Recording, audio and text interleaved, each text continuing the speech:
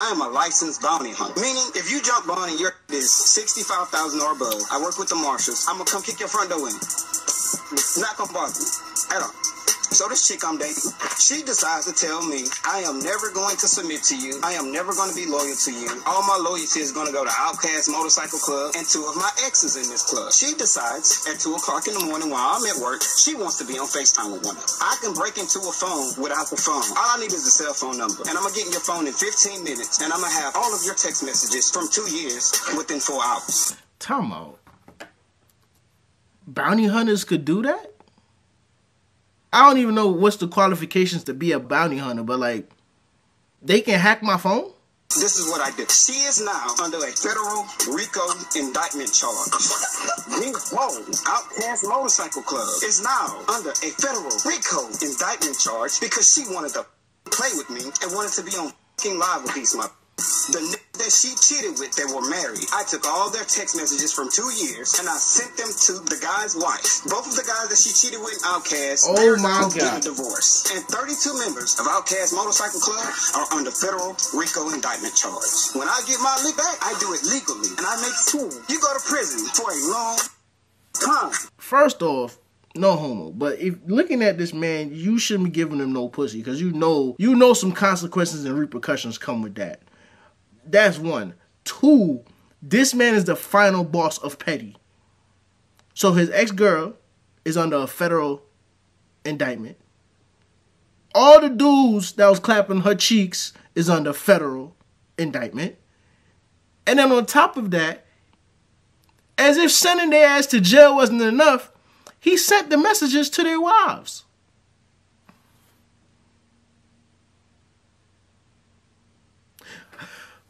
Hold on. But the fact that he's on camera admitting this, right? Wouldn't the case get thrown out because he did obtain the evidence illegally? Hmm. Не можно таких жуков, там больно сейчас. Что это такое? Ругаться буду. Ведите себя прилично, как лев. Ау, ау. Не можно таких жуков, там больно сейчас. Что это такое? Ругаться буду. Ведите себя прилично, как лев. And then when I come on here and I tell y'all that I think white folks are fearless, y'all be laughing at me. He just smacked the line with slippers. Then proceeded to scold him. Y'all think I'll be playing when I say white folks is fearless. Evidence. This is even more evidence. There's not a lot of conversation about the disadvantages of being attractive. One, as a woman, you will have a hard ass time making friends. I've met people who gravitate towards me because I'm attractive because they think in proximity they will get some of my privileges. Had friends that cut me off out of the blue for literally no reason. I have friends that have told me to humble myself. It's gonna be hard to date. I've met men who just want to be with me to be a trophy. I've had boyfriends who have not been able to deal with the amount of attention I get and therefore take it out on me. Been stalked. I've been followed home. I've been stalked by ex boyfriends. I've been groped. I've been graped. I've been assaulted. I've been through a lot because I'm attracted. It's not for the weak. And when people talk about pretty privilege, yes, I will get a free meal. I will get free entry. I will get preferential treatment. A lot of times I don't have to pay for stuff. That's great.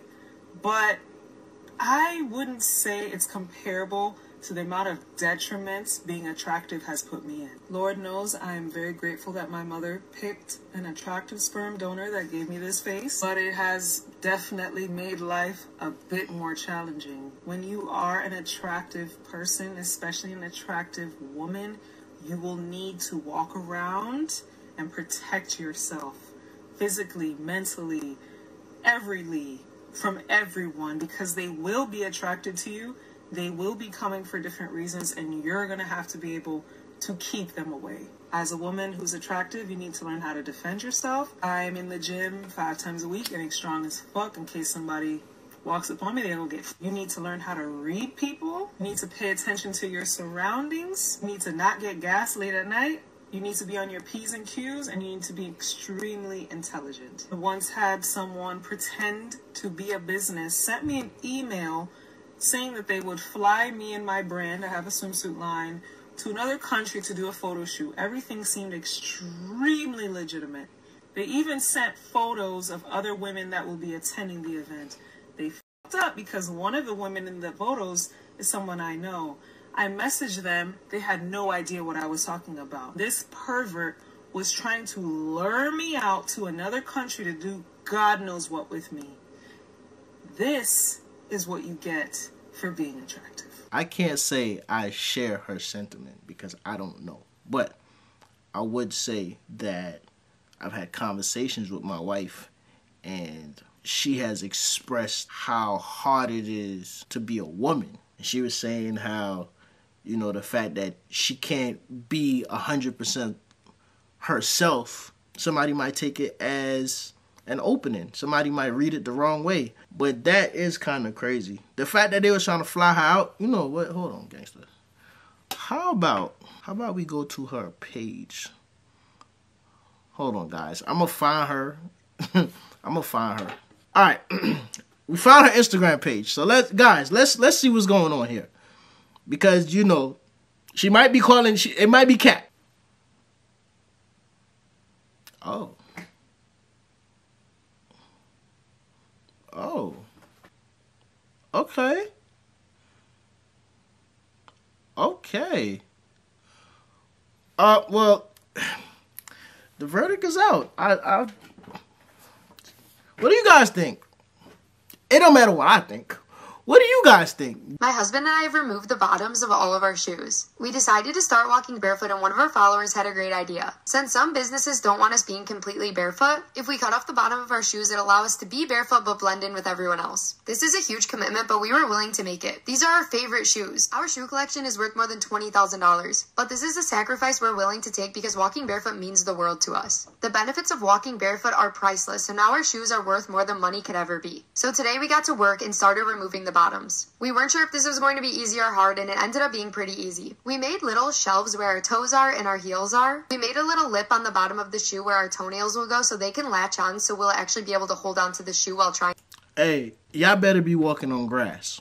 Y'all better be walking on grass. Cause if y'all going through all that BS to walk on some concrete, to walk without the bottom, and we did the same thing for our heels. The experience of cutting off the bottoms of our shoes was very freeing and detoxifying, just like walking barefoot is. So after we cut the bottoms off, we decided to try it out. So we went to our favorite store, Sephora, and as you know, they don't really like us in here without shoes. I needed to grab a few things for a trip we're going on. The experience was absolutely perfect. The workers came up to us, they talked to us, they even complimented our dirty. It was dirty. I was trying to use it. second, second, what, what happened? The toilet upstairs was dirty. I was trying to use it, and then it got very messy. It got it got orange thing. It got that brown thing on it inside the water of the toilet. You said the toilet upstairs is dirty? I want to show you. I want to show you it. But but the toilet Is it dirty because of you, or what, happened? Just the the water just turned brown again? Is that what you're saying? Mm-hmm. it went in. It come in the wall. It, it was it was orange and and Boy, stop stuttering and speak straight. What happened? it was orange and then it was white. You see, can I swash it? Did you flush it, and what happened? And then it. And It got brown still. Now I gotta explain to these people why my toilet water was brown. All right, I'm gonna come look at it just now. I? Yeah, yeah, yeah, yeah, yeah. Before y'all start saying, "Oh, y'all dirty, y'all living like bums over there," um, the day before yesterday, the water just went out all throughout the house. The only water that was on was the one downstairs, which was crazy. And then once we started everything back up and we started running the water, it was just brown all over. The faucet in the sink was brown. The faucet in the two bathrooms upstairs was brown. The faucet in the bathroom downstairs was brown. And even the shower water was brown.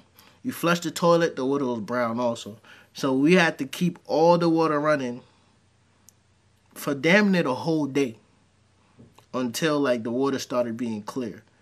And I'm I'm gonna be honest with you, bro. This is one reason why I've I haven't drank tap water in Actually, no, I drank tap water the other day, but it wasn't. It was at the gym.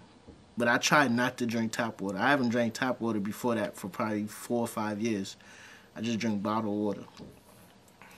So that's what's going on. It, it ain't no dirtiness going on over here, okay? Finish watching this damn video. shoes. I definitely recommend this if you're trying to go incognito barefoot. It's the perfect way to get all the benefits of going barefoot, but also have no one know. I'm not gonna lie. I am guilty of walking bare feet outside in the grass. It's something my wife put me on to because my wife is a tree hugger. It does something to you. It, it is. I'm not gonna lie. But if you're just doing this to walk on the concrete, you're not getting no benefits. And another thing, another thing, I hope this is genuine and not some social media shit because some people like me, I used to have to go to school like that when I lived in Grenada when I had a hole in my shoe and my feet was touching the concrete. Sometimes it was too hot on the damn pavement. I had to run out into the bushes. Imagine you got a hole in your shoes, the concrete, the road too hot to walk on, so you got to walk in the bushes to get to school. I'm telling y'all, y'all don't know how how how nice y'all have it in America. Even my son complaining about the, the toilet. I used to have to take a doodle in a, a latrine. Y'all know what a latrine is? Y'all call it an outhouse out here, but we used to call it a, a latrine. Imagine at five years old, you need to take a doodle at uh, three in the morning. It's pitch black outside, and the latrine is half a block away. Yeah. Motherfuckers be talking about they they from the trenches. They grew up in the, the trenches, my ass. I'm coming in there. Gonna make what you doing? Look, I'm coming in here. I'm coming in here. Knife, slice, slice. I'll give it to you. Okay. So I'm here. okay. You just here. Cutting here, slice, turning the hand over, slice. It says already cut. Slice, and give it to him. Give it to him. Hey, hold on. Hey, gang. Hey, gangster. This, hey, gangster. hey, gangster. If me and you get in a fight and you slice my nuts open, uh, it's a problem. It's a problem. And you damn, you a prison martial artist, so ain't shit I could do about it. I'm snitching. Yeah, I'm gonna go ahead and drop a dime on you. I'm gonna drop a dime on you. I'm sorry. He he in prison, son. Fuck. It looks like. Stand away. The attack is here. Cut.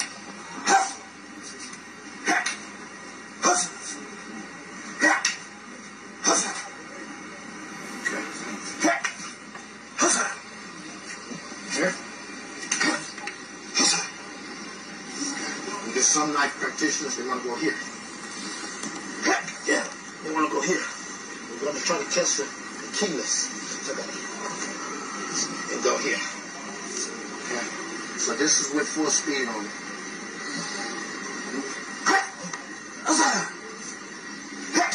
Oh shit.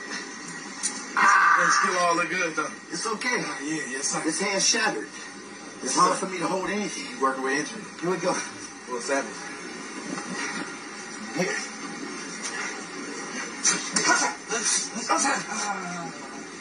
You felt that? Hmm. Boom.